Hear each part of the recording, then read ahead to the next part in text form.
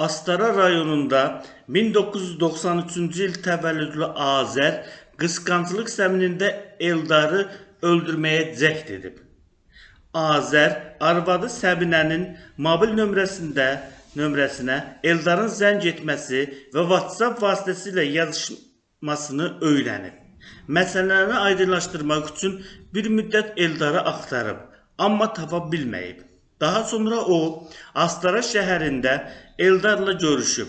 Söhbət etmək üçün onu avtomobilində rayonun Bəndəsər kəndinə, Bəndəsər kəndinə, meşə ərazisinə aparıb. aparıb. Ba Eldara arvadının mobil nömrəsinə zəng etməsi və mesaj yazmasının səbəbi barədə suallar verib.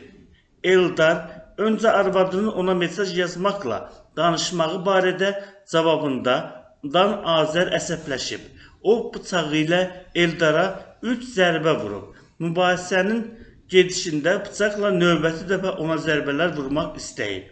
Eldar aktiv müqavimət göstərməsi, hadisə yerinə gəlmiş qardaşı onu bıçaqla zərbələr vurmasının qarşısını alıb. Hadisə yerinə gəlmiş qohumları qohumlar Eldarı dərhal Lənkəran rayon mərkəzi xəstəxanasına aparıblar. Cərrahiyyə əməliyyat edilməsi və digər tibbi yardım göstərilməsi nəticəsində yaralının həyatı xilas edilib. Azər həbs olunana kimi Hirkan Milli Parkının Şindan meşəbəy meşəbəyliyində mühafizə yegeri işləyib. İstintaq orqanı tərəfindən Azərin barəsində Cinayət Məcəlləsinin 29-120.1-ci qəsdən adam öldürməyə cəhd etmə və 228.4-cü qanunsuz olaraq qaz silahını, soyuq silahı, o cümlədən soyuq atıcı silahı əldə etmə, satma və ya gəzdirmə, milli geyim ləvazimatı hesab olunan ərazilərdə və ovçuluq peşəsi ilə bağlı olaraq soyuq silahı gəzdirmə maddəsi maddələri ilə ittiham elan edilib. Bu cinayət işinə Lənkəran Ağır Cinayətlər Məhkəməsində baxılıb, məhkəmənin hökmü ilə Azər 8 il müddətinə azadlıqdan məhrum edilib. Cəzasını ciddi rejimli cəzaçəkmə müəssisəsində çəkməsi müəyyən edilib. Hökmdən narazı qalan Azərin vəkili apellyasiya şikayəti verib. Şikayətində qeyd olunub ki, Azər ailəlidir, 3 az yaşlı qız övladı var. Hirkan Milli Parkının Şindar meşəbəyliyində mühafizəçi işləyərək ailəsini zəhmətlə dolandırıb, əvvəllər cinayət törətməyib və məhkum olmayıb. Vəkil qeyd edib ki, Azər yaşayış və iş yerindən müsbət xarakterizə edilən şəxs olub.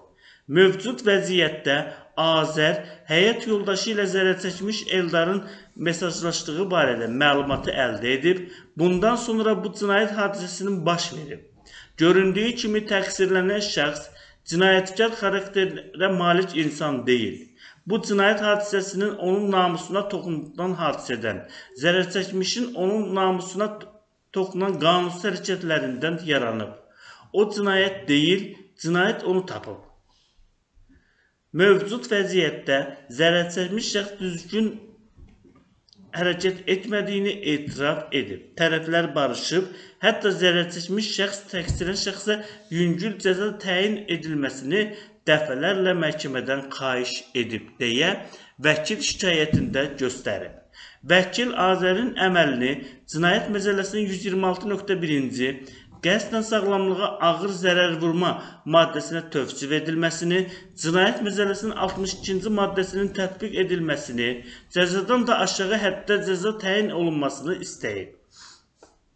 Şirvan Apellyasiya Məhkəməsinin qərarı ilə şikayət qismən təmin edilib, Azərin əməli Cinayət Məcəlləsinin 126.1-ci maddəsinə tövsif edilib. O, həmin maddə ilə təqsirli bilinib və 4 il cəza təyin alıb.